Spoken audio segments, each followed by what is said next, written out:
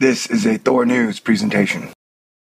Thor News presents Comet C2012 S1 Ison and WTF NASA. Seriously, bro. Part 18 10,000 Year Timeline. Well, ladies and gentlemen, Comet Ison, or as NASA first described it, the comet of the century when they discovered it in September of 2012, and what I am calling possibly the greatest comet of all time. Comet Ison is a total drama queen. How much of a drama queen is she? Just as the story is really starting to heat up, she vanishes. I mean, we know where she is, but she's disappeared behind the sun. So she is gone from pretty much the middle of June to the end of August, maybe early September. Gone for a month. So who knows what can happen in a month. NASA's already starting to hint that she's already started to break up, um, which, you know, might be covering their butt there. CYA, cover your ass by saying that if it comes around and if Earth based pseudo astronomy and normal amateur astronomers will see that has two bodies, they can say, oh, hey, it broke up.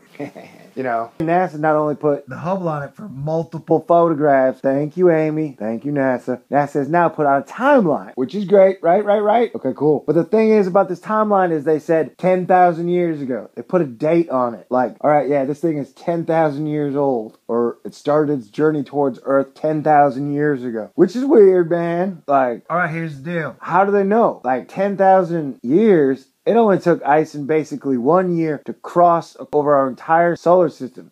I think it's only taken like two or three months for it to go from Jupiter to Mars. And it's only taken like three or four months to go from Mars to the sun. So if it been on a 10,000 year journey, where the hell did it come from, man? Like they keep saying, oh yeah, yeah, yeah. It came from outside of the Oort cloud. Well, I thought the very edge of the Oort cloud was kind of empty. Sometimes they say outer space is crowded with asteroids and space debris. And sometimes they're like, no, it's actually asteroid belt. All asteroids are like 10,000 miles apart from each other. So which is it, man? If it was hopping along in some other passage. What caused it to make a 10,000 year journey towards the sun? That is important to know. And like in the article, NASA, how can you say that it's spewing water and then say you can't wait to take a look at it because then you'll see what it's made of? That is kind of contradictory. You know what I'm saying? I don't know if you guys know that, but it's true. Okay? Yeah, and they're putting up some super space balloon that's going to measure it in infrared and on the ultraviolet spectrums, which is interesting. And then they got some super fast reaction project where they're going to measure it in other ways. So, as you can see with all this information, Ison still could be the story of 2013. So, by me having been doing all these episodes, man, I'm not a dumbass, you know? I mean, I may act like a dumbass sometimes and I may make mistakes, but I ain't no dummy, you know what I'm saying? Like, this is a fascinating object this thing will be cool in some way. And every step of the way, it's gotten more interesting and more puzzling and more bizarre. We've only got more questions. You know what I'm saying?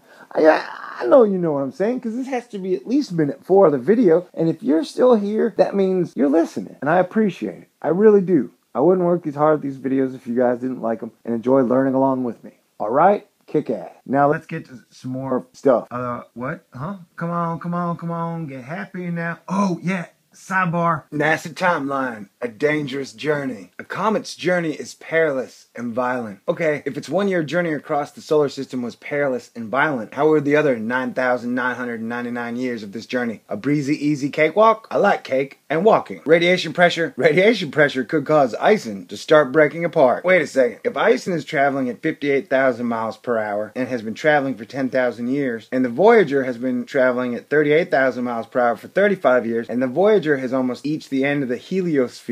Isn't the Oort cloud based upon the heliosphere? So that I wouldn't think the Oort cloud would, would extend beyond the sun's gravitational field or gravitational pull. Wouldn't you, wouldn't you, right? You know, so doesn't that mean the Oort cloud is 10 that, uh, too much math. My brain just loaded. Too much math. My brain just exploded exploded 10,000 years. Man, I'm pretty pleased with cherries on top. See the data, math, and scientific papers that led to this approximate conclusion. 10,000 years equals x plus y. Hey, if you put another bar over that equal sign, it looks like sexy. I could use a date. I could use a date. Okay, seriously, bro, what is the x and the y? Or just the x? I'd like to know. Yeah, I tried to figure out the math, find the math, but I failed. I don't like to fail, man. And for the record, I think NASA's copying me a couple episodes ago. I put a timeline up, and, and then they put a timeline up So I, I'm glad you guys are following along, NASA. Yeah, I mean, if you guys have been watching these episodes, you've known that I've been fully and utterly fascinated by its unknown origin. So a 10,000 year marker should give us a better idea of where it came from. We figure out the direction. Right, right? Where did it come from, man? I mean, 10,000 years is a long time. And if it only took one year to cross pretty much our entire solar system, I mean, couldn't it have come from another solar system? Or star system? You know, like, couldn't it have come from another star system? That's what I'd like to know. This is this is pretty fascinating. Ison gets cooler every day. I mean, I'm wondering, Ison, how dramatic can you get? And you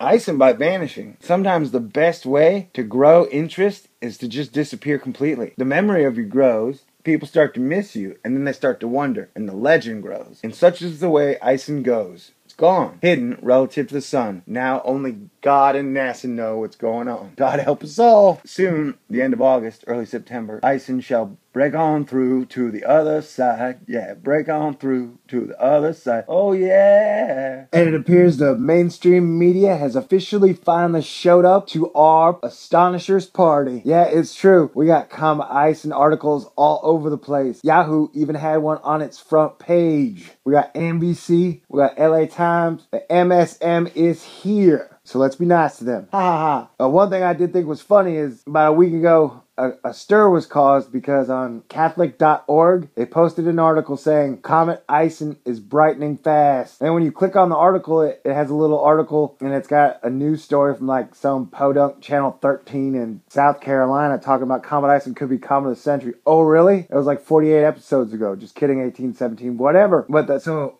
you know, it's like what they call this on the internet is clickbaiting, where they bait you to click on it and then there's nothing there, whatever they advertise. And and I think that's weird that Catholic.org would clickbait you because there's no information there saying that comet Ison really is brightening behind the sun. Nobody knows, right? Other than NASA. And unless NASA has some inside information, you know, and only shared it with the Catholic. That'd be weird. Well, I guess I, I shouldn't say too much because I'm still proud of uh, the Catholics, you know, for realizing that the solar system does not revolve around Earth anymore. Proud of them for that, you know what I'm saying? And putting people in Iron Maidens and bleeding them to death, you know, I guess as long as you guys aren't doing that, I'll stay happy with you and I won't complain that much. Right, so yeah, they're clickbaiting. The other day, yesterday, sidebar, yesterday, I saw a double rainbow. That means I'm gonna get to kiss one or two pretty girls soon.